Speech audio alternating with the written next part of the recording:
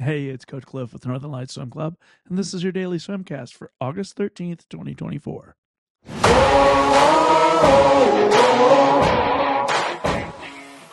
Well, it's our aerobic based training season, basically, so we're going to get started right away with a nice aerobic warm up. We've got two 200s and a 400, 200 back, 200 breast, and a 400 free. We're going to swim these straight through.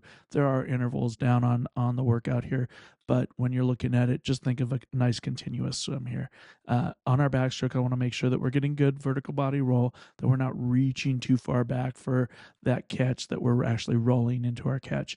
And then for our breaststroke, I want to make sure that we're working on what we worked on yesterday, which was working on our body line. We want to make sure that our head is down between our arms so that our body can re, uh, achieve a nice horizontal uh, position and maximize its efficiency.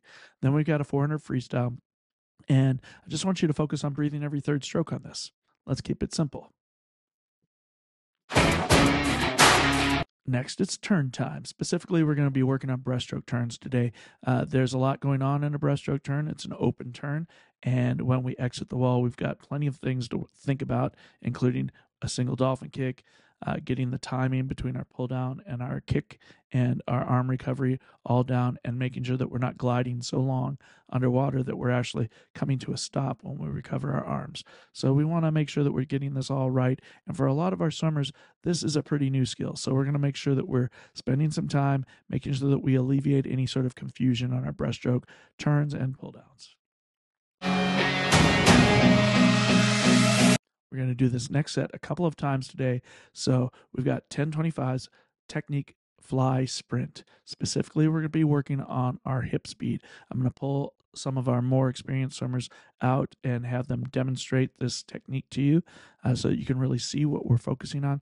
Instead of focusing on how fast our hands are going and how fast our feet are moving, we're going to focus on how quickly our hips are moving, uh, since all the power comes from our core anyway and then radiates out to our hands and feet. So we, we're going to focus on uh, really, really fast hips. I want to see a pop up and a pop back down with those hips.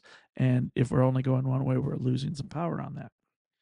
Uh, then we're going to go into a set of 20 50s dolphin kick on your back streamline. This is more of an aerobics set here, and we'll adjust intervals as needed as we move through um, this set. But our faster lanes are going to do these on the 105 and just keep these cruise. And then we're going to come back again and repeat those 1025s uh, sprint fly techniques. So we're really working our hips on those 1025s, 2050s, 1025s.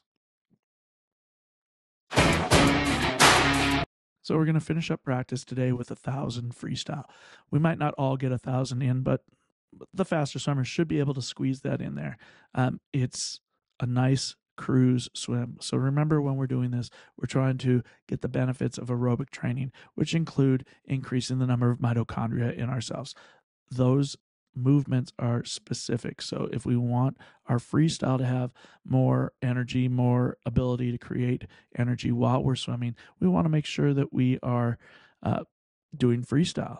It's not going to help us if we're outside jogging all the time. Uh, that's not necessarily going to help our freestyle freestyle helps our freestyle. So we're going to do some specific aerobic swimming here. It'll help our freestyle muscles and generally make us a little bit tougher. a lot of our swimmers are not used to doing a long swim like this, so this will be something new for them. I'll see you at the pool.